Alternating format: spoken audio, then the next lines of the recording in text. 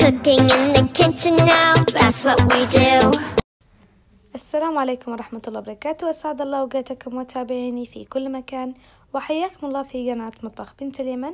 وصفتنا لليوم إن شاء الله بتكون الصيادية اليمنية. طبعا في ناس بيختلفوا في طريقة عملها.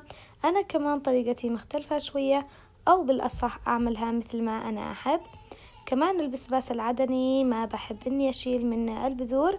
فلذلك أول شي بنشوف طريقة عمل البسباس والمقادير بطرحها لكم في صندوق الوصف إن شاء الله. أنا عندي هذا البسباس العدني أو بالأصح يسمى الفلفل المجفف الأحمر. غسلته ونظفته وكمان جهزت سبع حبات من الثوم وملعقة صغيرة من الملح. أضفت البسباس في الماء وغليته على نار متوسطة لمدة ثلاثين دقيقة. أو لما يستوي ويكون طري. بعدها أخذته وحطيته على جنب.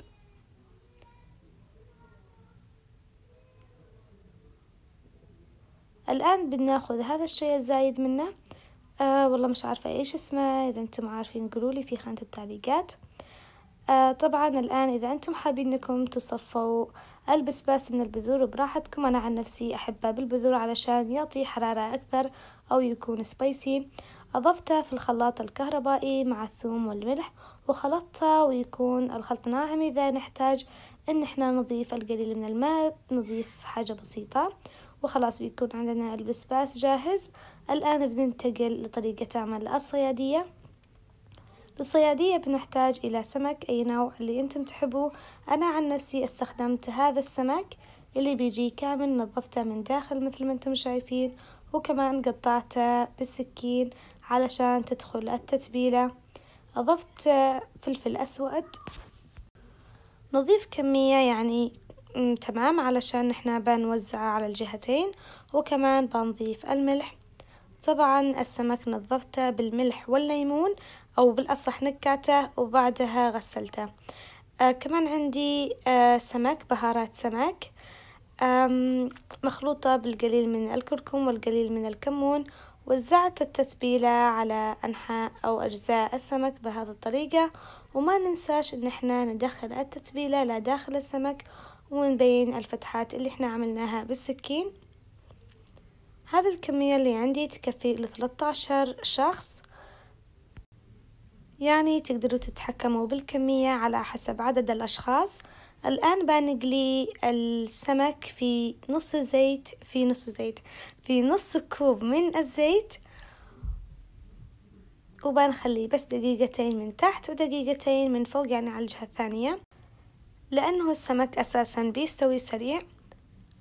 نقلبه على الجهة الثانية. وخلاص بنجهز مناديل للمطبخ علشان الزيت الزايد يروح وبنحط السمك في المناديل وبعدها بنكمل بقية السمك بنفس الطريقة. أنا عندي سبع حبات من السمك والآن بنجهز للرز. عندي بصل ثوم وكزبرة. خلطتم أو فرمتم فرم ناعم وأضفتم في الزيت اللي قلينا فيه السمك وبنقلبهم على نار مرتفعة.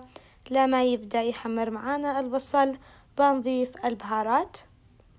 البهارات بكتبها لكم في صندوق الوصف إن شاء الله. كل شي بينكتب في صندوق الوصف وكمان بطرحها لكم في نهاية الفيديو في صورة واحدة إن شاء الله.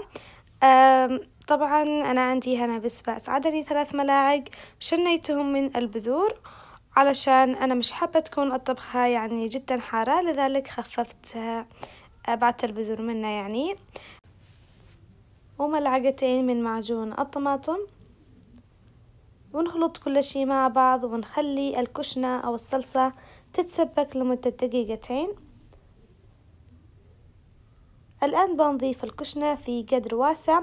طبعا أنا ما عنديش قدر واسع يكون فيه الغاز لذلك استخدمت القدر تبعت الفرن. إذا أنتم معاكم قدر واسع يعني أنا عندي الكمية كبيرة أساسا. أنتم تعملوا الكمية اللي تكفي لعدد الأشخاص. أنا عندي هنا ستة أكواب من الرز احتجت إلى قدر كبير.